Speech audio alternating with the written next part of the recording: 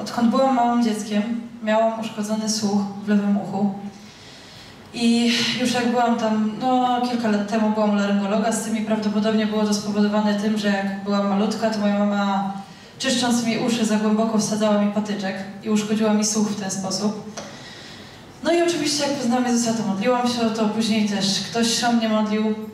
Kilka tygodni temu jeden Artur wyszedł ze słowem wiedzy i Artur się pomodlił wtedy o to lewe ucho zostałam uzdrowiona.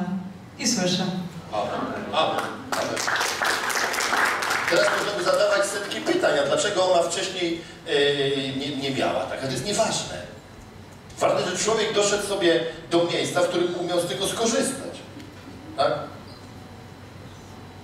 Bądźmy w tym naprawdę mądrzy. Ja, ja już wiele pytań przestałem zadawać, naprawdę, bo to jest niemożliwe zrozumieć tych rzeczy, które się dzieją na poziomie ducha. Rozumiecie?